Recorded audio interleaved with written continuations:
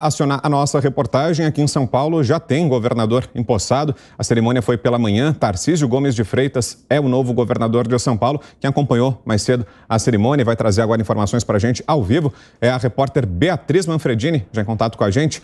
Oi, Bia. Boa tarde. Feliz Ano Novo. Boa tarde, Vitor. Feliz ano novo para você também, para toda a nossa audiência. Olha, nós falamos de, neste momento do Palácio dos Bandeirantes, né? Já ao término de todas as cerimônias que envolviam a posse do novo governador de São Paulo, Tarcísio de Freitas, do Republicanos. Apesar do evento oficial já ter terminado, o novo governador continua aqui, olha, no hall nobre do Palácio dos Bandeirantes. Ele está participando da cerimônia que é conhecida como beija-mãos, né? está cumprimentando os convidados e as autoridades que compareceram aqui ao evento no Palácio. Está acompanhado da mulher, a Cristiane. E a gente consegue perceber que ainda tem uma fila bem grande de pessoas para serem atendidas. O que a gente sabe é que pelo menos 1.500 pessoas foram convidadas para a cerimônia aqui no Palácio, né? E que então essa fila ainda demora um pouquinho para terminar. É, ao lado de Tarcísio e de Cristiane, a esposa dele, nós temos também o vice-governador, que também foi empossado hoje, Felício Ramute, e a esposa também, a Viv Vanessa, perdão, Vanessa e Felício Ramute. Eles posam aqui para fotos, então continuam aí esse momento do beija-mãos e logo depois, né, ao término desses convidados, Tarcísio deve então deixar aqui o Palácio dos Bandeirantes. Ele fez três discursos hoje durante durante o dia. O primeiro, na primeira etapa da cerimônia na LESP, Assembleia Legislativa do Estado de São Paulo, foi ali que ele realmente foi empossado, assumiu o compromisso né, como governador de São Paulo. Foi naquele momento, então fez um discurso ali por volta das 10 horas da manhã, mais ou menos.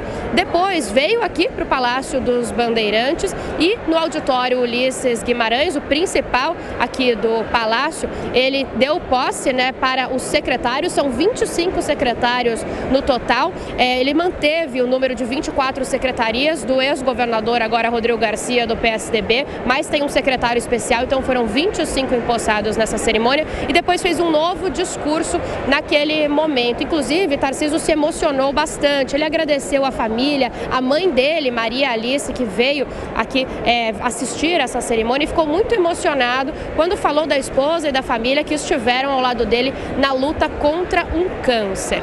Depois ele ainda falou com a imprensa, deu uma coletiva, respondeu algumas perguntas aqui dos jornalistas e o tom desses três discursos é, foram parecidos. Ele disse que pretende trabalhar em harmonia com o governo federal, né? lembrando que quem assume hoje é Luiz Inácio Lula da Silva, opositor de Jair Bolsonaro, que foi o grande apoiador e quem colocou Tarcísio aqui para disputar o governo de São Paulo. Então ele disse que pretende trabalhar em harmonia, que quando o Brasil vai bem, São Paulo também precisa ir bem então precisam caminhar juntos. Apesar disso, o Tarcísio fez aí diversos agradecimentos a Jair Bolsonaro, diz que ele teve ousadia em colocar Tarcísio como alguém a disputar aqui a vaga no Palácio dos Bandeirantes e ressaltou durante várias vezes que pretende fazer um governo técnico, que as escolhas para o secretariado foram técnicas e falou muito em cuidar de quem mais precisa. Em todos esses discursos, Tarcísio ele é, elencou problemas como da população de rua, problemas aqui de São Paulo como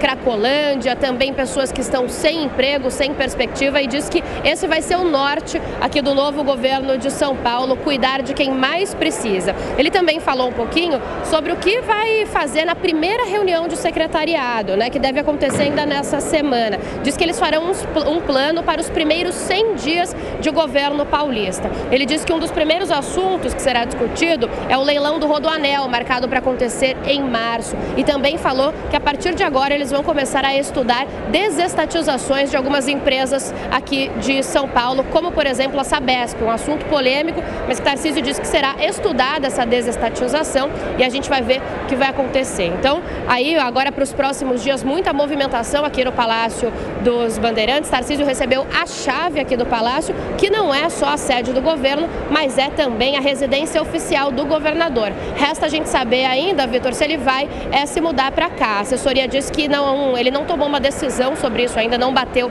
o martelo. Então, quando a gente tiver mais informações sobre isso, a gente conta aqui. Claro, vamos acompanhar agora os novos passos desse novo governo que também se comprometeu a assumir uma forte agenda verde, agenda pelo meio ambiente. Vitor. Ok, Beatriz Manfredini, obrigado pelas informações. Boa tarde, Bia. Agora, professor Marcelo Suano, queria saber do senhor como projeta que vai ser o relacionamento entre o governador de São Paulo, Tarcísio de Freitas, que é do grupo político, é aliado do ex-presidente Jair Bolsonaro, com o presidente eleito Lula. Será que vai ser um relacionamento tranquilo, sem maiores arestas a serem aparadas, ou não? É possível que tenhamos embates públicos, inclusive, entre Tarcísio e Lula? O que, é que o senhor imagina, professor? É, Vitor, é interessante que quando eu falei no primeiro momento acerca da, da montagem da secretaria pelo Tarcísio, eu falei que havia duas técnicas e eu disse que havia um técnico político, que certamente seria um maestro. E eu citei o Kassab. Qual é a função que o Kassab eh, recebeu? Ele vai ser o articulador político do Tarcísio. Mas o Kassab, além de exercer essa secretaria, ele é presidente do seu partido o partido que tem é, é, ministros no governo Lula. Ora, o que isso significa? Com uma certa perspicácia, o Tarcísio simplesmente viu: eu preciso de uma ponte natural entre o governo estadual e o governo federal, sabendo que o governo estadual, o caso de São Paulo, representa mais do que ser a locomotiva do Brasil. O governo, o governo de São Paulo, ou o estado de São Paulo, seria uma das dez maiores economias do mundo e o Brasil cairia para a 18ª, muito provavelmente, se São Paulo fosse isolado do Brasil, se fosse separado do Brasil. Veja, o, o, o Kassab exercerá um papel primordial.